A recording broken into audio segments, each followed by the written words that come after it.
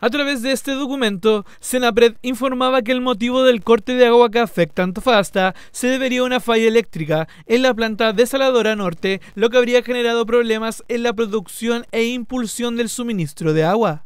Lamentable que no se avise con antelación. Si fuera así, la gente junta agua dos o tres días antes que se produzca el corte, entonces no se producen estas aglomeraciones y molestias. Al aviso llegó un poco tarde, porque ayer eh, a partir de como las 22 horas que llegó el aviso que se iba a cortar a las 23, entonces alcanzamos a juntar muy poquita agua y igual eh, estos eh, abastecimientos que hay, usted ve que estamos haciendo una fila largo rato acá para llenar un poco de agua. No teníamos idea. Fue, o sea, lo levantamos en la mañana, abrimos la llave y no caía nada de agua. Y el administrador tampoco sabía, no tenía el conocimiento de esto, así que desde lo laboral, la Dirección del Trabajo informó las condiciones que deben tener los diferentes lugares de trabajo si es que presentan falta de este suministro. Bueno, principalmente, como ustedes saben, la provincia de Antofagasta se encuentra ahí con en gran cantidad de su población con el suministro de agua potable suspendido. Y eso básicamente se arroja en todos aquellos también locales comerciales eh, y lugares de trabajo donde están trabajadoras y trabajadores, como ya lo señalamos. Para aquello deben haber condiciones de abastecimiento, esto quiere decir para agua para beber, claramente, pero a su vez también condiciones sanitarias que permitan el desarrollo de las funciones en el lugar del trabajo seguras. que nosotros vamos a salir a fiscalizar ahora es que efectivamente el agua potable que tengan los establecimientos, lugares de trabajo, sea la que viene de cañería, la que es usada para la descarga.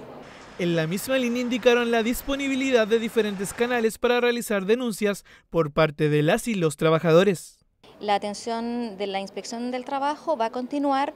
Tenemos eh, tanto el canal presencial con un turno de emergencia aquí en la inspección, pero también están los otros canales como es la vía telefónica con la línea 600 y también por la página web. Ahí pueden hacer las denuncias todas las personas que sean afectadas por, por esta situación del corte de agua.